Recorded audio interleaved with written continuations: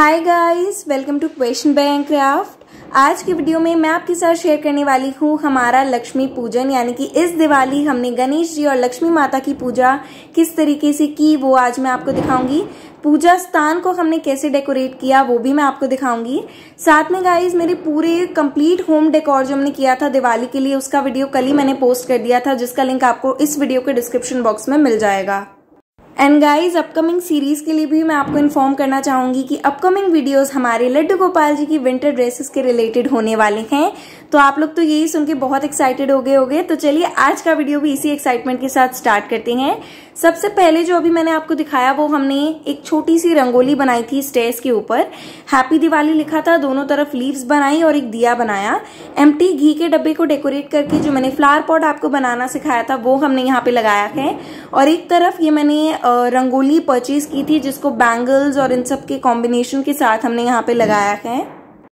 तो गाइस सीढ़ियों को हमने कुछ इस तरीके से डेकोरेट किया है। इसमें मैंने और भी चीज़ें ऐड की हैं वैसे, जो आगे आपको वीडियो में देखने को मिलेगा। दिए वगैरह बहुत कुछ हमने इनमें ऐड किया था।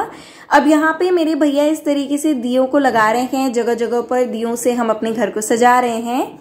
और ये मैंने इस तरीके का एक रंगोली टाइप का बनाया था व्हाइट और रेड कलर से, जिसमें हमने एक लोटस बनाया था एकदम बीच में। इस पर भी हम दिया रख रहे हैं और ये बहुत ही ज़्यादा सुंदर लग रहे हैं। ये मैंने अपने एंट्रेंस पे बनाया है। और ये हमने इस तरीके से दिए लगाए हैं गाइज़ ये देखिए, ये बहुत ही प्यारा सा एक डेकोरेटिव पीस है। इसमें एक साथ इतने सारे दिए हैं, काफ़ी प्यारा है। माउंट बोर्ड के बेस के ऊपर ये बना हुआ है। और ये भी एक इस तरीके की डेकोरेटिव थाली है, जिसके सेंटर पे हमने यहाँ पे दिया प्लेस किया है। और ये है हमारी गाय माता, जिनको मैंने स्टेज के ऊपर लगा के इस तरीके से बैक साइड में, ये देखिए, ये दियों का पूरा लगाया है। तो मैंने रैंडम कुछ पिक्चर्स भी क्लिक किए थे और मैंने वीडियोस भी शूट किए हैं तो सबको कंपाइल करके मैं आपको दिखा रही हूँ। अब ये नेक्स्ट गाइज़ मेरे पास एक इस तरीके का पॉट था, कुछ इस तरीके की शेप में। इसको मैंने यहाँ पे डेकोरेट किया था कलरफुल फ्लावर्स बना के अक्रेलिक पेंट से और इसके अंदर फोम फ्लावर्स का बंच डाल के मैंने इसको स्टेज पे लगा दिया। तो आप भी इस तरीके की चीज़ें बना के अपनी सीढ़ी वगैरह जो है या घर का एंट्रेंस है, उनको डेकोरेट कर सकते हैं। ये है पिकॉक दिया जो हमने रिलिंग की साइड्स पे लगाया था और मैंने हैंडमेड चीज़ें प्लस कुछ चीज़ें जो मार्केट से खरीदी थी, सबको कंपाइल करके अपना घर सजाया है गाइस और काफ़ी ज़्यादा सेटिस्फाइड हूँ मैं हर चीज़ से। बहुत अच्छा लगा मुझे सारा कुछ। अब फाइनली हम करेंगे हमारे कान्हा जी के दर्शन। तो ये है मेरे दोनों हैंडमेड लड्डू गोपाल जी, जिनको मैंने यहाँ पे पोशाक पहनाकर सिंहासन पर बिठाया है। देखिए कितने ज़्यादा क्यूट लग रहे हैं। इनसे तो मेरी नज़र ही नहीं हट रही थी। बस मन कर रहा था पूरे टाइम मैं इनको ही देखती रहूँ। और साथ में गाइज़ यहाँ पे हमने इनके पास गाय वगैरह लगाई हैं टॉयज और मैंने ये पॉट में फ्लावर डाल के इस तरीके से लगाए हैं ना, मटकी एक के ऊपर एक रखते हुए। ये मटकियाँ भी मैंने आपको जन्माष्टमी के टाइम पे डेकोरेट करनी सिखाई थी और इनका जन्माष्टमी डेकोरेशन पे भी हमने काफ़ी यूज़ किया था। और इसमें मैंने फोम फ्लावर्स का बंच डाल दिया तो ये और भी अच्छा लग रहा है। अब नेक्स्ट यहाँ पे मैं आपको पूजा स्थान का डेकोरेशन दिखा देती हूँ। तो एक तो ये हैंगिंग है जिसपे ओम बना हुआ है और इसकी साइड्स पे ये गायत्री मंत्र लिखा हुआ है। काफ़ी ज़्यादा सुंदर है ये। अब इसके पास यहाँ पे हैंडमेड हैंगिंग्स लगे हुए हैं। एक ये बैंगल का है। इसके बीच में सेंटर पे यहाँ पे हमने दिए लगाए हैं।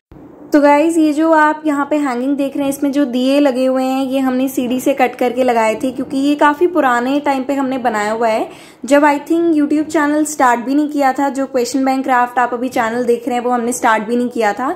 तो उस टाइम पे इतना सामान नहीं होता था तो हम इसी तरीके से यू नो जुगाड़ लगाकर चीज़ें बनाया करते थे। कोशिश करते थे कम सामान में अच्छी चीज़ बनाने का। तो यहाँ पे हमने वॉल पे ये कलश वगैरह भी लगाए हैं, स्वास्तिक लगाए हैं। स्वास्तिक लगा के इसके दोनों साइड पे कलश लगाए हैं तो ये पूजा रूम का पूरा पूजा स्थान का वॉल है। अब नेक्स्ट यहाँ पे मैं आपको कुछ पूजा की प्रिपरेशंस दिखा देती हूँ कि क्या क्या किया था। तो यहाँ पे ये सारी तैयारियाँ मेरी मम्मी ने और मैंने मिलके करी हैं। तो ये चौकी है पूजा के लिए। यहाँ पे हमने पाँच स्वास्तिक और माता के चरण, पादुका वगैरह लगाए हैं। आगे की तरफ़ हमने ये कॉइन्स बनाए हैं ट्वेंटी वन ये व्हाइट और रेड एक तरह का कलर होता है, इससे बनाया है। और ये अष्टदल कमल पास में रखा है, पूजा की थाली रखी है। और सारी ज़रूरत की चीज़ें जो पूजा में यूज़ में आएँगी, वो सब कुछ यहाँ पे रखा हुआ है। तो ये दिवाली पूजन का पूरा एक सेट आता है, जिसमें सारी की सारी ज़रूरत की जो चीज़ें होती है, जो पूजा में यूज़ में आती हैं, वो सारा कुछ होता है। ये नोटबुक और बाकी भगवान जी के लिए प्रसाद है। और गाइज़ अब मैं आपको एक और सुंदर सी चीज़ दिखाती हूँ, जो मैंने पूजा के लिए डेकोरेट करी है, वो भी मैं आपको दिखा देती हूँ। सो गाइज़ यहाँ पे ये जो आप दो पॉट्स देख रहे हैं, ये हमने गणेश जी और लक्ष्मी जी के भोग रखने के लिए डेकोरेट किए हैं। तो यहाँ पे मैंने इसके ऊपर बहुत ही कलरफुल से लोटस वगैरह बनाए हैं। काफ़ी ज़्यादा सुंदर डेकोरेट किया है गाइज़ मुझे बहुत पसंद आया ये। और इस तरीके के शानदार वीडियोस आपको मेरे channel easy day to day life पे देखने को मिलते हैं। वहाँ पे मोस्टली मैं वन या टू मिनट्स की वीडियोस ही बनाती हूँ। एक दो मिनट के वीडियो होते हैं, जिनमें ज़्यादा से ज़्यादा चीज़ें मैं आपको सिखाने की कोशिश करती हूँ। उस चैनल का लिंक डिस्क्रिप्शन में ऊपर ही ऊपर दिया हुआ है गाइज़ तो उसको आप जाके सब्सक्राइब कर लीजिएगा। चौकी लगाई, उसके ऊपर हमने लाल कपड़ा लगाया, ये तरबूज रखा है। माता लक्ष्मी, गणेश जी इनकी हमने फ़ोटो लगाई है। तरबूज पे मेरे पापा यहाँ पे स्वास्तिक बना रहे हैं। और अब हम सबको तिलक कर रहे हैं यहाँ पे। गाइज़ लड्डू गोपाल जी के लिए विंटर स्पेशल ड्रेसेस मैं आपको, जैसे लास्ट ईयर काफ़ी सारे डिज़ाइन में मैंने आपको दिखाई थी तो वैसे ही हम बनाएँगे इस बार भी तो आप लोग उसके लिए कितने एक्साइटेड है बताइएगा ज़रूर।